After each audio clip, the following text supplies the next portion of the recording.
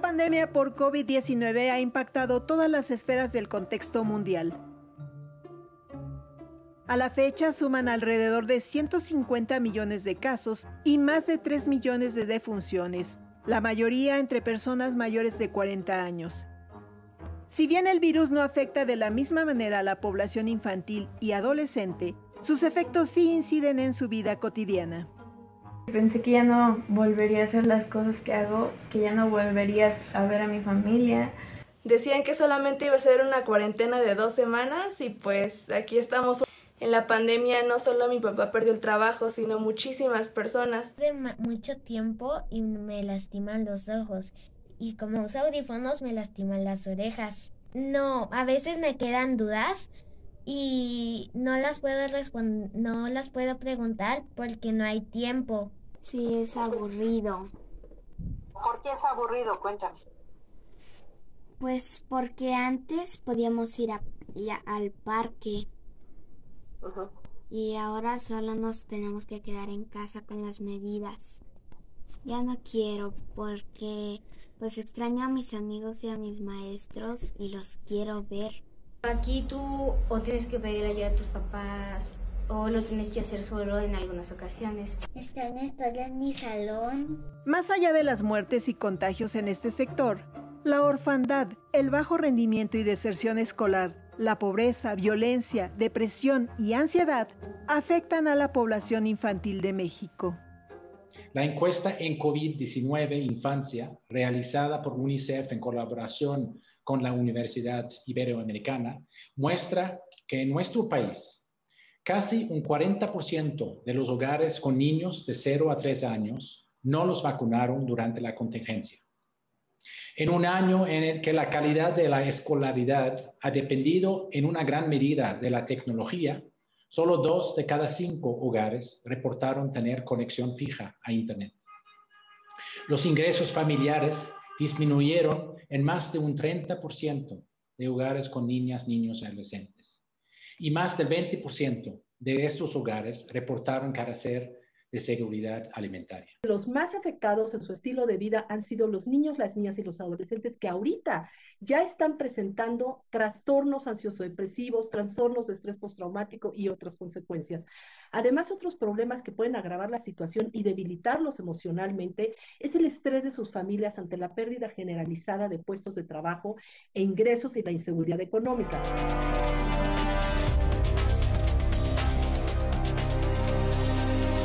¿Qué sentiste cuando te dijeron que tenías COVID? Pues me dio mucho miedo porque pensé que ya no volvería a hacer las cosas que hago, que ya no volverías a ver a mi familia, que ya no podría jugar o hacer varias cosas que hago a diario y que y también pensé que podría llegar a morirme por los síntomas porque a veces no me podía mover o no podía hablar y pues la verdad eso sí me dio bastante miedo. Autoridades reconocen 50.000 casos confirmados de COVID en menores de edad. La gran mayoría se registró en niños entre 12 y 17 años. La cifra oficial señala que 548 menores de edad han perdido la vida en lo que va de la pandemia. Las más perjudicadas han sido las niñas. Tenemos cerca de 600 personas eh, en la edad infantil que han perdido la vida de manera directa por el COVID lo que muestra, eh, comparados con las eh, cantidades importantes en personas adultas, que es una afección limitada en ese aspecto. Que además los sobrevivientes, más de 52 mil, eh, tendrán secuelas de este virus que ahora mismo desconocemos y que pueden afectar su salud tanto en las tres esferas que se han visto secuelas, en el sistema neurológico, en el sistema pulmonar o respiratorio y en el, eh, en el ámbito cardíaco, digamos. Un estudio de la Academia Nacional de Medicina en 1.443 niños enfermos de COVID reveló que la afectación es limitada. Su edad promedio fue de 8 años y muy pocos ingresaron a la unidad de cuidados intensivos. Casi 2% murió. Pero es, es, es, la mortalidad más alta que hay eh, que de las cifras que se han publicado de las publicaciones más recientes es la más alta en el mundo. Y los más vulnerables resultaron ser los niños menores de 4 años, los niños eh, que, que obviamente desarrollan neumonía de manera temprana, los niños que tienen inmunosupresión, como los niños con cáncer, los niños con alguna otra enfermedad, los niños con obesidad. A esta situación se suma el hecho de que a nivel mundial aún no hay una vacuna para la población infantil. Pfizer, Moderna y AstraZeneca ya iniciaron ensayos clínicos para los menores de edad con resultados alentadores. Sin embargo, los prototipos están a la espera de la aprobación de las autoridades en Estados Unidos. Para UNICEF, ahora es más urgente que se apliquen las otras vacunas que no han recibido los niños durante la pandemia, porque el número de muertes en el sector podría incrementarse por otras enfermedades prevenibles. En inicios de abril de 2020, México retomó la campaña de vacunación infantil. El objetivo es aplicar 8.6 millones de dosis contra sarampión y rubiola a menores de entre 1 y 4 años. Esta actividad se considera como una actividad esencial, o sea que nunca debió haber desaparecido. Los niños siempre debieron haber venido a vacunarse. Las más de 250 mil muertes registradas por COVID en lo que va de la pandemia también tienen impacto en miles de niños que han quedado en la orfandad. Si bien no hay cifras oficiales precisas, el Instituto Nacional de Salud Pública señala que más de 60 mil menores podrían estar en esta condición. Para la Red de los Derechos por la Infancia en México, es importante que a la brevedad autoridades de los tres niveles de gobierno puedan conformar un padrón de orfandad para determinar cuántos son, dónde están y se elabore un plan de atención integral.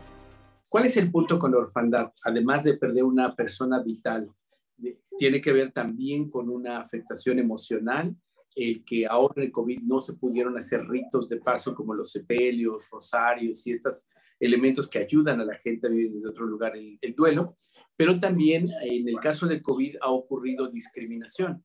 Esta discriminación implica que posiblemente el niño, niña o adolescente fue portador también del COVID y esto pudo haber representado rechazo para que la familia extensa le recibiera claramente bajo el riesgo de contagio. Y por otra parte, el hecho de no tener, o sea, de tener presente que esta afectación también representa un riesgo para su certidumbre jurídica. ¿Quién se queda bajo su resguardo y tutela? Porque más allá de que lo haga alguien bien intencionado, un familiar o alguien cercano, si no tiene la guardia y custodia ante el juez, no puede realizar actos administrativos o de otro tipo en su nombre y representación, lo que significaría cosas tan pragmáticas como no poder inscribirlos en las escuelas. Y es que no contar con sus tutores representa un alto riesgo para los niños. Tiene mucha más probabilidad de abandonar la escuela, de tener que realizar actividades económicas para sobrevivir, en el caso de las mujeres, de verse inmersas en trabajo doméstico o tareas de cuidado, eh, ser víctimas de violencia sexual, embarazos tempranos o uniones tempranas, y particularmente en los adolescentes hombres, riesgo de ser eh, capturados por grupos criminales.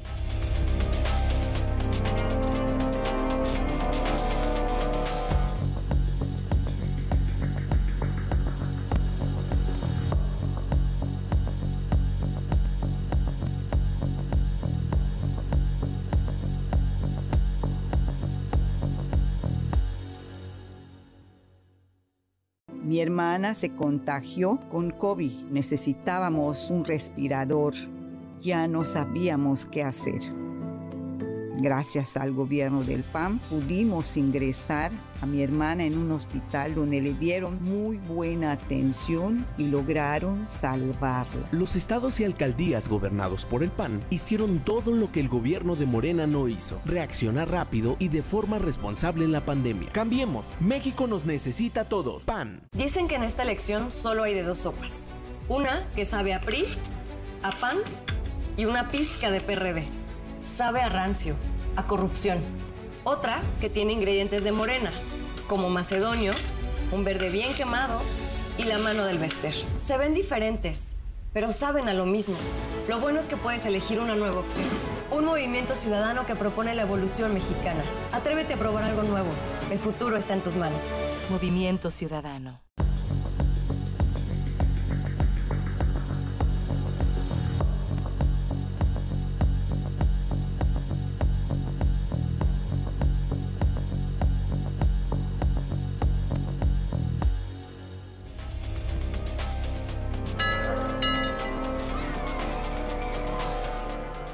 Escuelas y salones vacíos. En México los niños tienen más de un año de no asistir a clases presenciales. Más de 30 millones de estudiantes han tenido que entrar a una dinámica de educación a distancia. El cierre prolongado de escuelas en México está afectando el desarrollo de niñas, niños y adolescentes. Para los niños más pequeños, el cierre de los espacios físicos para la educación inicial y preescolar está restringiendo su desarrollo cognitivo durante una etapa crucial de sus vidas. Las y los adolescentes en particular están viendo seriamente afectados, afectadas sus interacciones interpersonales en una etapa clave para el desarrollo de la independencia. De acuerdo con la encuesta para la medición del impacto COVID-19 en la educación, 1.8 millones de estudiantes ya no se inscribieron al ciclo 2020-2021 por motivos asociados al COVID o por la falta de recursos económicos. Cerca de un millón de niñas, niños y adolescentes en México no concluyeron el ciclo escolar 2019-2020. Pero aún más alarmante es el hecho que más de 5 millones de niñas, niños y adolescentes no están inscritos para el siguiente ciclo académico. Para quienes sí han tenido acceso a las herramientas para la educación a distancia a través de plataformas de Internet y los programas educativos en televisión, la adaptación no ha sido fácil. Más difícil. ¿Por qué? Porque ya no quiero estar en el Montesquieu. No lo escucho cuando digo las instrucciones. Miss Gaby me regaña. A veces me quedan dudas y no las puedo responder, no las puedo preguntar porque no hay tiempo. Cuando estábamos en el salón de clases, podemos hacerle dudas y ahí casi nunca nos hace caso. Porque la maestra te puede ir a tu lugar, enseñarte, ayudarte, pero aquí tú o tienes que pedir ayuda a tus papás o lo tienes que hacer solo en algunas ocasiones porque no, tus papás van al trabajo.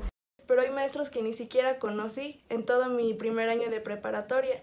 Solamente dejaban ejercicios y pues con eso evaluaban. Así que siento que ahorita no he aprendido casi nada. No ir a la escuela también tiene otros efectos. Estudios revelan que más de un tercio de los niños apenas realizan dos horas de ejercicio físicos a la semana. Solo uno de cada diez dedica más de seis horas semanales. El uso excesivo de pantallas para fines educacionales está dificultando la actividad física, fomentando el sedentarismo, aumentando el riesgo de sobrepeso y obesidad y causando sueño irregular, irritabilidad, ansiedad y falta de concentración. Somos el país número uno en obesidad infantil. Y entonces, si juntamos que los niños ya no están saliendo, que los niños no nada más no salen, sino están teniendo este fenómeno de la cabaña, ¿no? Entonces, en donde ya no quieren salir, son ellos los que no quieren salir. Están mucho más horas enfrente de la pantalla, están mucho más horas en, o sea, ya la pantalla ya no es mala, ¿no? O sea, cambia nuestros conceptos y y vemos estos riesgos que probablemente vayamos a pagar las consecuencias tiempo después. Los estudiantes aseguran que están listos y preparados para evitar contagios en sus centros educativos. Eh, sí, ya quiero regresar. Porque voy a poder jugar con mis amigos en el recreo, voy a poder ver a mis maestros otra vez, voy a poder hacer los convivios y los festejos y preguntarles las dudas que tenga. Podemos tocar algo y cuando comemos, como nos quitamos el cubrebocas, podemos tocar algo y chuparnos los dedos y si estaba el coronavirus, ya nos enfermamos. Pero si tenemos cuidado y somos cuidadosos, pues puede que no nos enfermemos. Lavarse las manos a diario, usar cubrebocas y usar carete y desinfectar las cosas. Ir a la escuela. ¿Sí? ¿Por qué? Porque se aprende más con compañeros, este, maestras, directores, libros, o sea, tenemos libros, pero se aprende más y explican más. Pues si hay precaución en las escuelas y obtienen todas las seguridades, pues podría ser un poco más seguro. El regreso ya inició. Campeche fue el primer estado y otros siete se preparan para abrir las escuelas. En la Ciudad de México las autoridades educativas estiman que el regreso podría ser en agosto. Pero antes de retornar, se realizará un diagnóstico para conocer el estado de los inmuebles para que brinden condiciones de seguridad y lo principal, se hará una evaluación socioemocional de niños y maestros. Sí vamos a regresar a las escuelas cuanto antes. Eso sin lugar a duda. No vamos a esperar el siguiente ciclo escolar. Esa no es la disposición. Sí es cierto, nuestras escuelas cerraron y en muchas de ellas hemos tenido que insistir en el agua y el jabón y estamos preparándolas con ellas. El regreso de nuestros docentes no puede ser solamente así. Sí tenemos que vacunarlos. Estamos contemplando también la atención y el apoyo socioemocional, porque no solamente el aprendizaje ha quedado por verse, sino la condición emocional de nuestros niños. Las encuestas a padres de familia nos dicen que el regreso sí será, pero será voluntario. En México tenemos históricamente un déficit de personal de salud mental y en general la capacidad del Sistema Nacional de Salud para atender de manera preventiva, curativa o de rehabilitación los problemas de salud mental son limitados. Hoy estamos integrando la Comisión Nacional de Salud Mental y Adicciones con la fusión de CONADIC, los sistemas de los servicios de atención psiquiátrica y el Consejo Nacional de Salud Mental. Y a través de modelos de transferencia de capacidades al primer nivel de atención estamos logrando tener una amplificación de la capacidad de atención. La difícil situación económica que provocó el cierre de millones de pequeños negocios y la pérdida de millones de empleos en México también impactó a los niños, quienes se han tenido que sumar a la labor de conseguir un ingreso o caer en la pobreza. En la pandemia no solo mi papá perdió el trabajo, sino muchísimas personas. Al principio no se siente, pero conforme pasan los meses, sí. Eh, ya no gastamos en cosas innecesarias, solamente compramos lo necesario cuando vamos al supermercado, ya comemos menos en la calle.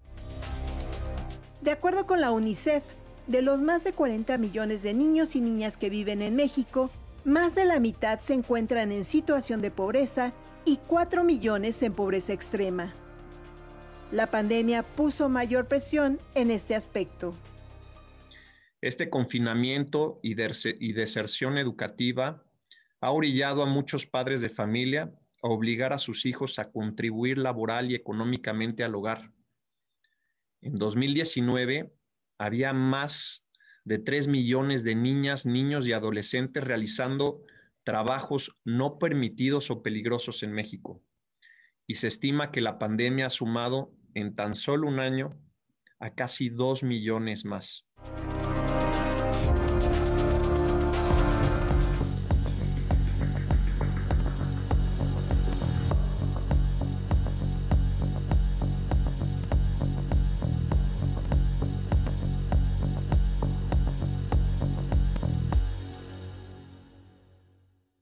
En estas elecciones, votar es seguro. Lleva tu cubrebocas y tu INE. En tu casilla te indicarán dónde colocarte, respetando la sana distancia. Al ingresar, te aplicarán alcohol en gel. Te pedirán mostrar tu INE. Solo tú la tocarás. Te darán tus boletas. Para votar, tienes la opción de traer tu propia pluma. Te aplicarán tinta indeleble. Sigue las instrucciones de las personas funcionarias de casilla. Nos vamos a cuidar y te vamos a cuidar. El 6 de junio, votar es seguro. Alcances del Tribunal Electoral?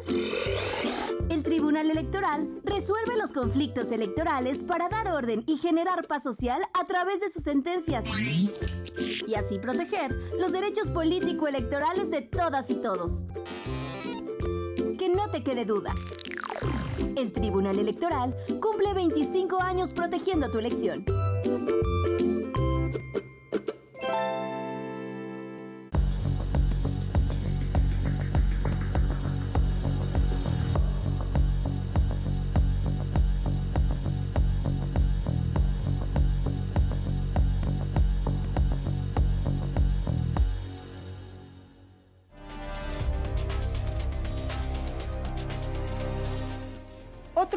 Que tiene en riesgo a la infancia es un aumento en las situaciones de violencia. Redim señala que por el confinamiento, 10.198 niños llegaron a hospitales víctimas de la violencia en 2020. Los reportes de discusiones en el hogar aumentaron en 34.2% y se recibieron 586 mil llamadas de emergencia relacionadas por violencia familiar. El DIF registra un aumento de denuncias en las 32 procuradurías estatales. El año pasado recibió 6.674 carpetas de atención. Las carpetas de investigación con las que cerramos en 2020 fueron, por ejemplo, 2.600 en corrupción de menores, con un incremento del 30% comparado con 2019, que tuvimos 2.000 carpetas de investigación. 50% de incremento en carpetas de investigación sobre abuso sexual eh, y incremento también de delitos como trata con fines de explotación sexual. Ante todos estos impactos, autoridades federales reconocen que el reto es enorme para resarcir los efectos de la pandemia en la salud emocional de las niñas, niños y adolescentes en México.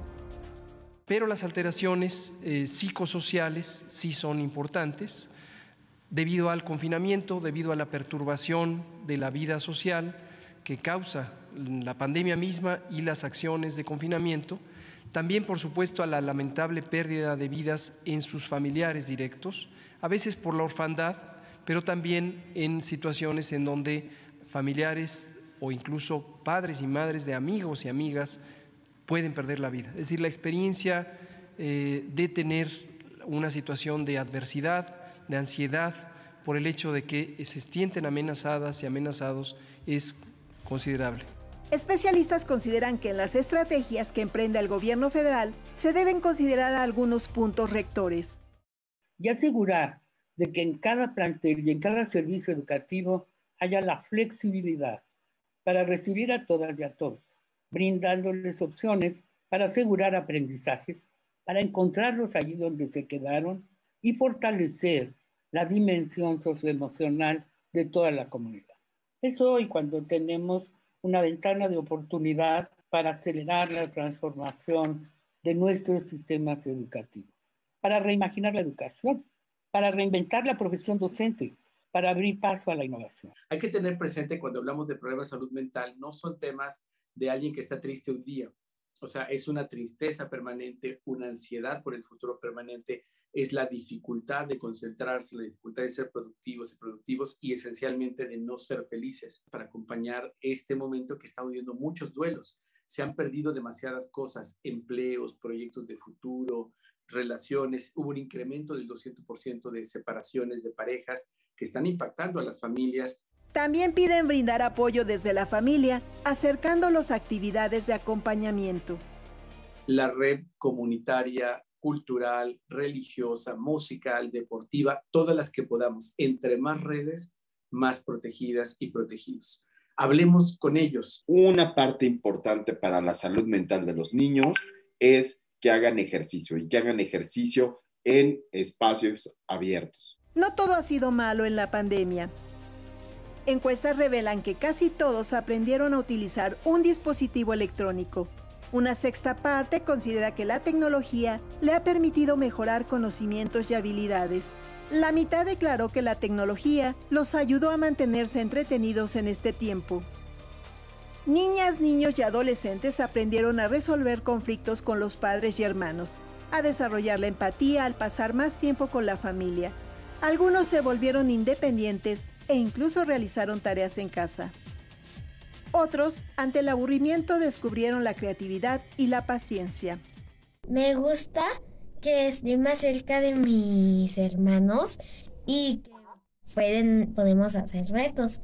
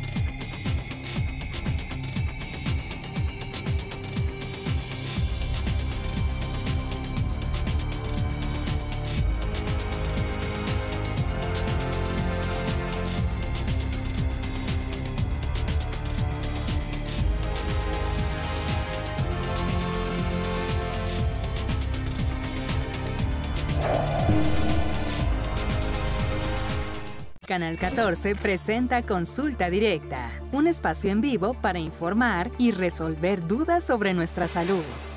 En esta ocasión tocaremos el tema de embarazo, antes, durante y después.